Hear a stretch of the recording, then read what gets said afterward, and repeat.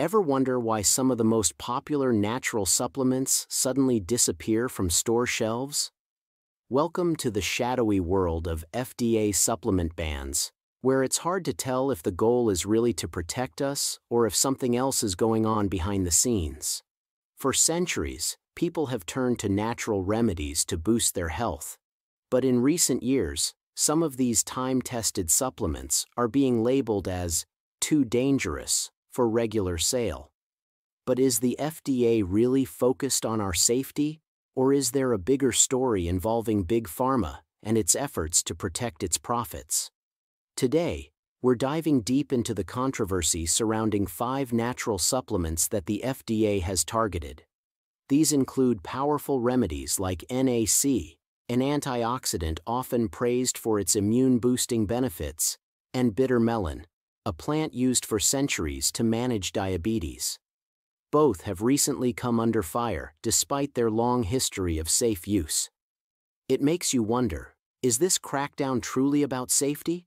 Or are there other motives at play? Could the pharmaceutical industry be pushing the FDA to eliminate natural competition? Hold on tight, health freedom fighters, because we're about to uncover what might be one of the biggest health cover-ups of our time. First on our list today is a heavy hitter, curcumin, the active ingredient in turmeric. If you've heard of turmeric, you know it's the vibrant yellow spice that's been a staple in Indian cooking for centuries. But beyond its culinary uses, turmeric has been used in traditional medicine for its powerful anti-inflammatory and antioxidant properties. The key to its benefits lies in curcumin, which is what gives turmeric its superpowers. But here's where things get interesting. While turmeric is freely available, the FDA has raised issues with curcumin in supplement form. In 2017, the FDA ruled that curcumin doesn't fit their definition of a dietary ingredient. It's like they're saying that just because curcumin is part of turmeric, it shouldn't be allowed as a supplement. Imagine being told a fruit smoothie isn't considered a drink because it's made of fruits. Doesn't make much sense, right? This ruling has made it harder for people to access curcumin in the quantities needed for medicinal benefits. Sure, you can sprinkle turmeric on your food, but to get the same therapeutic effects that you'd get from curcumin supplements, you'd have to eat around 500 to 1,000 capsules worth of turmeric every day. Unless you plan on turning into a human curry dish, that's just not practical. But why would the FDA target something that could potentially help millions of people, especially those with kidney disease? Research supports curcumin's benefits in this area. A 2020 study involving 700 participants found that curcumin significantly improved kidney health by reducing protein in the urine, a key indicator of kidney damage. It's also known for its anti-inflammatory powers, which helps slow the progression of kidney disease. Inflammation is a major player in the development of many chronic illnesses, and curcumin acts like a firefighter, rushing in to put out the flames. But the FDA's position on curcumin is a bit like saying, sorry, we can't let this firefighter help because he's not wearing the right uniform. Instead of focusing on the overwhelming potential benefits, they're getting caught up in technicalities. Yes, the FDA plays an important role in keeping us safe from harmful substances, but in cases like this, it feels like they're overreaching. While it's important to regulate dangerous products, why crack down on something that has been proven to help with inflammation and kidney health, with little to no evidence of danger? So what can you do if curcumin supplements are off the table? Well, one option is to continue adding turmeric to your diet in creative ways. You can try turmeric teas, golden milk, or even mix it into smoothies and soups. While it's true that eating turmeric doesn't give you the same concentration of curcumin as a supplement, it still provides some benefits. However, this doesn't change the fact that for those who could really benefit from higher doses, the FDA's stance is a barrier to accessing something that could improve their health. This raises bigger questions. Why is the FDA so quick to restrict natural substances that have a long track record of safety? And could there be other forces at play, like the pharmaceutical industry, which stands to profit from more expensive drugs that do what natural supplements can often do at a fraction of the cost? There's a lot to think about here, but one thing is clear. Health freedom is about having access to all the tools we need to take care of ourselves, whether that's a prescription drug or a centuries-old natural remedy. Stay informed, ask questions, and never stop exploring the truth behind these decisions. Because when it comes to your health, you deserve the whole story. Next on our list is barberry. You might think of barberry as just a shrub that grows in your yard, but it's so much more than that. Barberry, also known as Berberis vulgaris, has been a cornerstone of traditional medicine for centuries. The real star here is berberine, the active compound in barberry that packs a powerful punch when it comes to boosting health.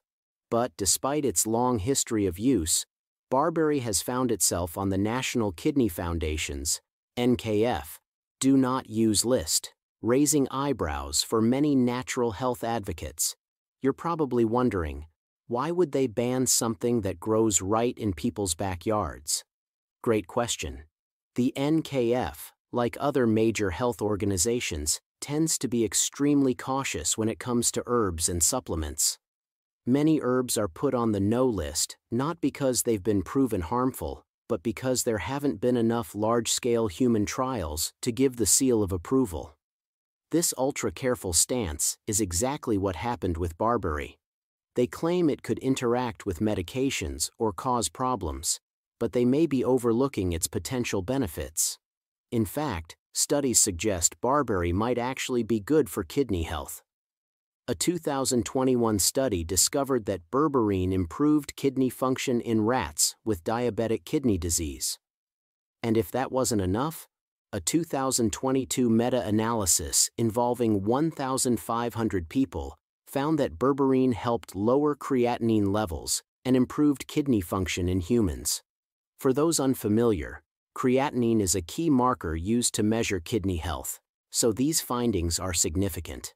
Despite this promising research, the NKF has decided to slap a big Do Not Use label on it, citing a lack of complete understanding of its risks. It feels a bit like they're saying, we know this could help, but because we don't have every tiny detail, we don't want you using it. While it's always smart to be cautious with anything you put in your body, isn't it worth considering an option that has the potential to help, especially when the risks aren't fully proven? So what's the bottom line with Barberry? If this has piqued your interest, try looking for ways to incorporate small amounts of barberry in your diet, or talk to your healthcare provider about its potential benefits. And remember, knowledge is power. If you know someone who might benefit from learning about this, share this info with them to help spread the word about barberry's potential. Now, let's move on to another banned supplement, bitter melon. This strange-looking vegetable resembles a bumpy cucumber and has been a go-to remedy in Asian medicine for hundreds of years. But when it comes to kidney health, the NKF isn't a fan. Bitter melon has been blacklisted because of concerns that it could lower blood sugar too much. If someone is already on medication for diabetes, there's a worry that adding bitter melon could cause blood sugar to drop to dangerously low levels. But here's the thing. Multiple studies have shown that bitter melon can be a highly effective natural treatment for lowering blood sugar, particularly in people with type 2 diabetes. A study published in 2021 even found that bitter melon improved kidney function in rats with kidney damage. So, not only does it show promise in managing blood sugar levels, but it could also help protect your kidneys from damage, a huge win for people dealing with both diabetes and kidney concerns. Despite these promising findings, the NKF has chosen to take the ultra-conservative route by adding bitter melon to their no list. It's as if they're saying, we know this might work, but we'd rather play it safe than take any chances. While we always want to avoid potential risks, why shouldn't people have the option to use something natural like bitter melon, to help manage both their blood sugar and kidney health? Especially when studies suggest it could make a real difference. So, the question remains Are you going to let a health organization decide what you can and can't eat, or will you take control of your health journey? If all this talk about bitter melon has got you fired up, share this information with others who might want to explore natural options for managing their health. You never know who could benefit from learning about these alternatives. Stay tuned, because up next, we're diving into another supplement that's raising eyebrows in the world of kidney health. Let's dive into the science.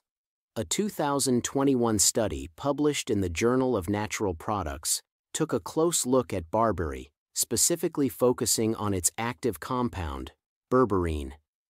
The study showed that berberine improved kidney function in rats with diabetic nephropathy, a condition where the kidneys are damaged due to diabetes. This finding is important because diabetic kidney disease is a growing concern worldwide, and discovering something that could potentially help is significant. Not only did berberine show promise in this animal model, but further research could help translate these benefits to human treatments. On top of that, a 2022 meta-analysis published in the International Journal of Endocrinology reviewed 18 randomized controlled trials involving over 1,500 people. This meta-analysis found that berberine significantly lowered serum creatinine levels and improved glomerular filtration rate, GFR, both key indicators of kidney health. To put it simply, berberine helped kidneys function better. For people with kidney issues, especially those related to diabetes, these findings suggest that berberine could be an effective natural tool for improving kidney function. But despite these promising results, the National Kidney Foundation, NKF, still says no to barberry. It's like they're telling us, yes, it might help, but we can't let you use it because we're not 100% sure it's completely safe yet. While caution is understandable, it feels like they might be shutting the door on a potentially beneficial treatment before fully understanding all of its advantages.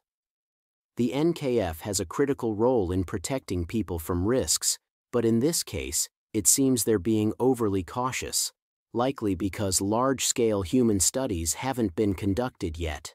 So, what should you do if you're interested in barberry? While the NKF may not recommend it, it's always a good idea to consult your healthcare provider. They can help you weigh the pros and cons, especially if you have kidney-related health concerns. Just remember, when it comes to supplements or herbs, getting professional advice is crucial before making changes to your health routine. Now, let's talk about bitter melon the third supplement on our list. If you haven't seen one before, imagine a bumpy cucumber with a strong bite. That's bitter melon. This vegetable has been used in traditional Asian medicine for centuries, particularly for its ability to lower blood sugar. But the NKF isn't a fan of bitter melon either. They've added it to their list of herbs to avoid, because they're worried it could lower blood sugar levels too much especially for people who are already taking medication for diabetes. This concern isn't without merit. If you're already taking medication to control blood sugar, adding bitter melon could drop your sugar levels too low, which is a real danger. But here's what's interesting. Numerous studies have shown how effective bitter melon can be, not just for blood sugar control, but for kidney health as well. For example, a 2022 study in the Review of Diabetic Studies found that bitter melon significantly reduced blood sugar levels in people with type 2 diabetes. On top of that, another study from 2021, published in the Journal of Traditional and Complementary Medicine, discovered that bitter melon improved kidney function in rats with kidney damage. So not only is it effective in helping control diabetes, but it could also help protect the kidneys, a win-win for people with both conditions. So, why the ban? The NKF prefers to play it safe, which is understandable given their mission to protect people from potential risks. But it's also possible that by being overly cautious, they might be dismissing natural remedies that could be of real benefit to people. If this information about bitter melon has you intrigued, share it with friends and family who may benefit from learning about these natural health options. After all, we should all have access to the information we need to make informed decisions about our health. But here's where it gets really interesting. A 2021 study published in the Journal of Natural Products found that berberine, the key compound in barberry, actually helped improve kidney function in rats with diabetic nephropathy, which is just a scientific way of saying it helped diabetic kidneys work better. If you're not convinced by rat studies, I get it. Animal studies don't always translate directly to humans. So let's move on to the human trials. A 2022 meta-analysis, published in the International Journal of Endocrinology, reviewed 18 randomized controlled trials with over 1,500 participants. This analysis found that berberine significantly reduced serum creatinine levels and increased estimated glomerular filtration rate, EGFR, both of which are crucial markers for kidney health. In simple terms, berberine made the kidneys work better. This is big news for people dealing with kidney issues, especially those related to diabetes, which is one of the leading causes of kidney disease. So, why the ban on barberry? Well, the National Kidney Foundation, NKF, points to possible interactions with medications and the lack of large-scale human studies focused specifically on kidney disease. It's almost like they're saying, we know this fire extinguisher works on other fires, but we haven't tested it on your specific fire, so you can't use it. Now, to be clear, I'm not suggesting we completely dismiss the NKF, they play an important role in keeping people safe. But in this case, it seems they might be overly cautious. They're focusing so much on potential risks that they could be missing out on the benefits. If this information about barberry has got you thinking, be sure to hit that like button and share it with your friends and family. They might appreciate knowing about this natural option, especially if they're dealing with kidney health issues. All right, now it's time to move on to number three on our list, bitter melon. And wow, has the National Kidney Foundation thrown a fit over this one? Picture this. A bumpy cucumber with a serious attitude. That's bitter melon. It's been a staple in traditional Asian medicine for centuries, praised for its ability to lower blood sugar. But the NKF? They've slapped a big no sticker on it faster than you can say dialysis. Are they really protecting us, or is there something else going on? Let's take a closer look. The NKF claims that bitter melon could lower blood sugar too much. Their concern is that if someone is already taking medication for diabetes, adding bitter melon could lead to dangerously low blood sugar levels. Sounds serious, right? But here's where things get a little murky. Bitter melon has shown in several studies to be highly effective not only for controlling blood sugar, but also for kidney health. For example, a 2022 study published in the Review of Diabetic Studies found that bitter melon reduced blood sugar levels in people with type 2 diabetes. And in 2021, another study from the Journal of Traditional and Complementary Medicine found that bitter melon improved kidney function in rats with kidney damage. So here, we have a natural remedy that could help manage blood sugar and protect kidneys. Yet, the NKF has decided to ban it. It feels a bit like the NKF is saying, we know this might work, but we're not willing to take the chance. And that's where the frustration comes in. Sure, we need to be cautious, especially when it comes to health, but if something natural like bitter melon can help people manage their blood sugar and improve kidney function, shouldn't it at least be considered as an option? So, let's break it down. While the NKF is looking out for potential risks, there's a growing body of evidence suggesting that bitter melon can be a powerful tool in fighting both diabetes and kidney disease. If you're intrigued by this, make sure to share this information with others who might benefit from natural health options. Stick around because we've got even more to uncover in the world of banned supplements that could be game changers for kidney health. It's like they're saying, we can't have you getting too healthy now, can we? But let's see what the science has to say. A 2022 study published in the Review of Diabetic Studies found that bitter melons significantly reduced blood sugar levels in people with type 2 diabetes. And here's the kicker. A 2021 study in the Journal of Traditional and Complementary Medicine showed that bitter melon improved kidney function in rats with kidney damage. So not only does it help manage diabetes, but it also supports kidney health. It's almost like Mother Nature knows exactly what she's doing. So, why is the National Kidney Foundation, NKF, throwing bitter melon under the bus? Are they really looking out for us, or are they just repeating what their pharmaceutical friends tell them? It's like they're saying, sure, bitter melon might help your kidneys and diabetes, but since we can't make money off it, we're going to ban it. Now, I'm not directly accusing the NKF of being in Big Pharma's pocket, but let's be real. If it looks like a duck, swims like a duck, and quacks like a duck, well, you get the picture.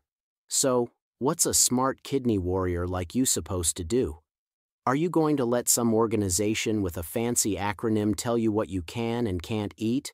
Or are you going to take charge of your own health? If this truth about bitter melon has you fired up, hit that like button and share this video with your friends. Let's spread the word and stick around for the next video, where we'll expose number 2 on our list of banned supplements. Alright, truth seekers, it's time to pull back the curtain on number 2, vitamin E. That's right, the NKF advises you to avoid good old vitamin E. But why? What are they hiding? Let's connect the dots. Vitamin E is an antioxidant powerhouse that's been around for years, but it's also been a thorn in Big Pharma's side. Why? Because it's cheap, it's effective, and most frustrating of all for them, it's natural. And as we know, you can't patent Mother Nature. The NKF claims vitamin E might increase the risk of bleeding for some people. How convenient, right? It almost sounds like they're following Big Pharma's script word for word. But here's what they're not telling you a groundbreaking 2023 study in the Journal of Renal Nutrition found that vitamin E supplementation significantly reduced oxidative stress in patients with chronic kidney disease. In other words, vitamin E acts like a protective shield for your kidneys, and it gets even better. A 2022 meta-analysis published in Nephrology Dialysis Transplantation showed that vitamin E could actually slow the progression of kidney disease in diabetic patients. Think about that. A simple, natural vitamin doing what billion-dollar medications can't. So why is the NKF so determined to keep vitamin E out of your hands? Follow the money. Big Pharma can't make the same profits from vitamins as they do from expensive patented drugs they want to keep you reliant on their costly treatments. If vitamin E helps manage kidney disease, what happens to all those dialysis centers? What happens to all those pricey medications? The whole system comes crashing down. So, the question is, are you going to let Big Pharma and the NKF control what you put into your body? Or are you going to take your health into your own hands? If this information about vitamin E has you thinking, make sure to share this video. The fight for health freedom isn't over yet.